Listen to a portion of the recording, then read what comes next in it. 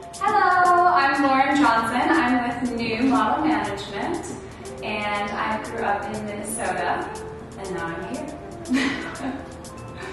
so when I'm off duty, I like to, of course, work out and stay active, um, but my favorite thing I do is ceramics, which I learned from my grandmother at a really young age, and it's a good way for me to kind of, you know, like meditate and create something straight from the heart and connect with her. The best way that I deal with stress is number one, by going outside. It is the ultimate cure for any sort of foggy headedness that I might have, or if I'm in a funk.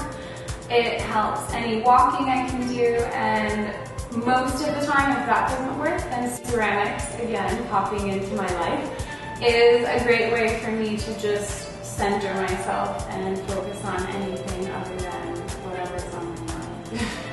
Something quirky about me is I always do these weird facial expressions. My boyfriend always likes to note that I, you know, tuck my upper lip or look like an old man or like do these like weird eyebrow or eye, just any facial expression, it's here.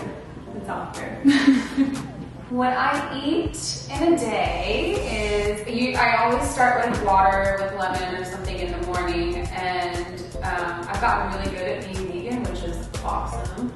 And I love a good breakfast smoothie. It feels like there's 20 ingredients in the smoothie and that's always a great morning start. Um, I love peanut butter on bagel or toast with cinnamon. I, I really love a good rice bowl. I think that's probably my go-to meal during the week. It's quick, it's easy, you just throw in whatever you have in your fridge and there's potatoes, another favorite of mine, sweet potatoes or Japanese yams.